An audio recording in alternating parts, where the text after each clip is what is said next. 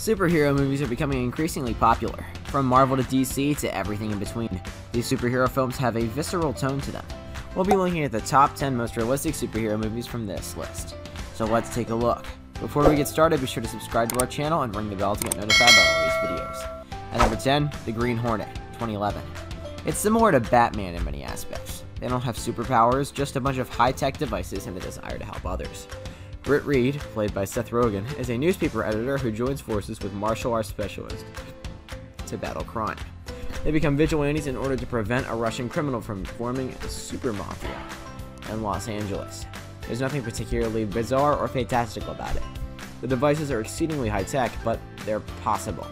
Furthermore, Britt and Kato have no superpowers and are fighting a local mobster rather than a global menace. At number 9, Iron Man, 2008. The Iron Man suit could not possibly exist in today's world. However, despite the high-tech gadgets, the film is remarkably realistic. He's a weapons manufacturer who creates a fantastic mech. There aren't any fantastical components, either. Terrorists and another weapons manufacturer provide the greatest threat, not aliens. They battle with mech suits, rockets, and firearms along the way, not with supernatural abilities. It's interesting that the MCU was inspired by one of the more grounded superhero films. At number 8, Special, 2006. Michael Rapaport plays Les Franken, a comic book fanatic who begins to believe that he has superpowers after taking a new antidepressant. He sees himself as a telepathic crime fighter, but the cops see him as deranged and an aggressive individual. The filmmaking further explores the film's amusing twist. In most of the film, spectators are only given Les's bizarre point of view and are not allowed to observe reality. He's not actually special, he's merely high on hallucinogenic chemicals. But that's where the fun begins. Number 7, Defendor, 2009.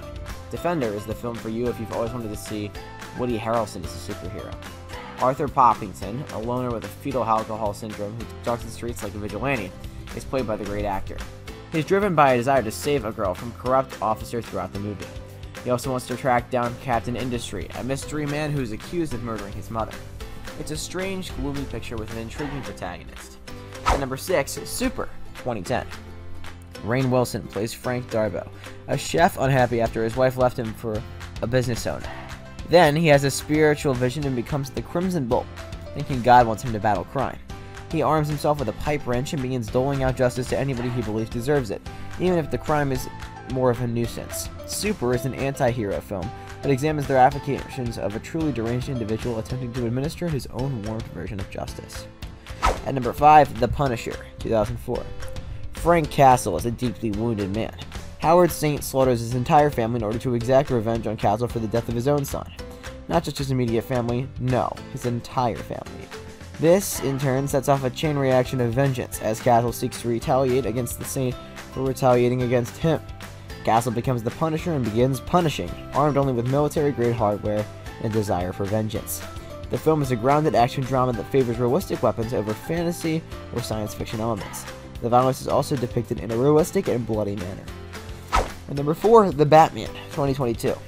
While The Dark Knight elevated the superhero genre with a grounded tale and mature issues, The Batman is probably more realistic. Essentially, this isn't even a superhero film, it's more akin to a film noir, or old school detective narrative with superhero aspects. Even the villains are represented realistically, with Penguin and the Riddler ditching their previous comic booky clothes in favor of a more real-life style. This is a wonderful superhero film for those who dislike superhero films. And number 3, Noise, 2007. Falling Down meets Superman. It has a similar concept, and both protagonists have a comparative perspectives on modern society. David Owen, played by Tim Robbins, is a lawyer who's grown tired of his life's incessant din.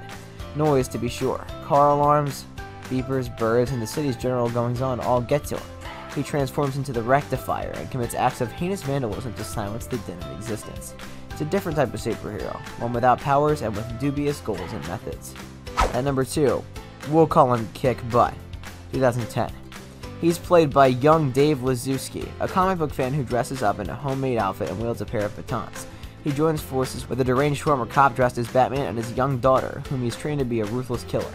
They band together and try to take down a local mob boss rather than a global threat. The film is very grounded in reality, portraying its protagonists as unhinged individuals rather than valiant heroes. And at number 1, Boy Wonder, 2010. Sean Donovan, the titular Boy Wonder, is an antisocial loner who is traumatized by his mother's death at the hands of a carjacker. Sean, who grew up despising criminals, decides to take crime into his own hands and becomes a vigilante. He murders muggers and pimps, but his delusions eventually catch up to him and he kills innocent people. This is an anti-hero film. Boy Wonder not only warns about the dangers of vigilantism, but also depicts a hero who caused far more societal harm than good. Well guys, that's it for this one. What'd you think about it? Let us know in the comments below. If you're new to our channel, be sure to sub and ring that bell to get notified by our latest videos. And thank you for watching, and we'll see you next time.